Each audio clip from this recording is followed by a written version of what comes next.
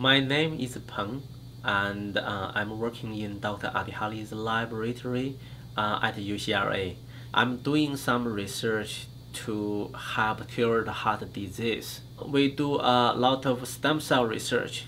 In the future, those stem cells can help improve the human heart function to cure the disease.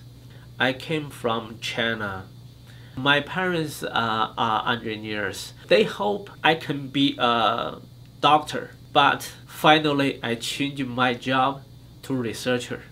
My grandfather, um, he's a really good and famous dentist in China.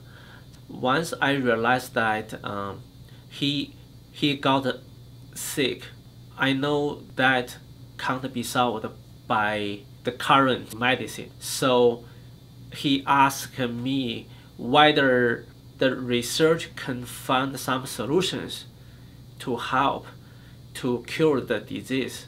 So that's make me decide, I think, the final decision to be a researcher. Hi Peng, how are you? Good, thanks. So what are what are you doing today?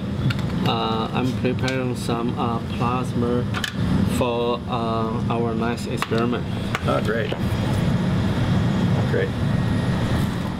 I think lab life is independent and collaborate.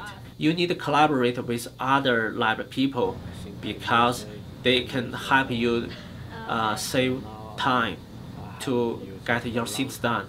The micros fluorescence microscope is very important for us because we do the cell culture.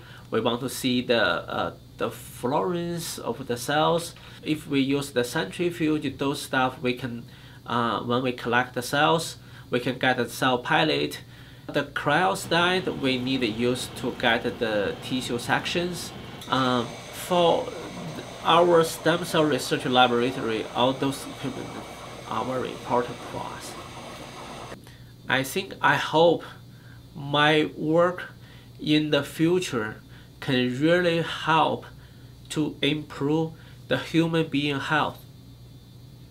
That's what the future plan, I think now.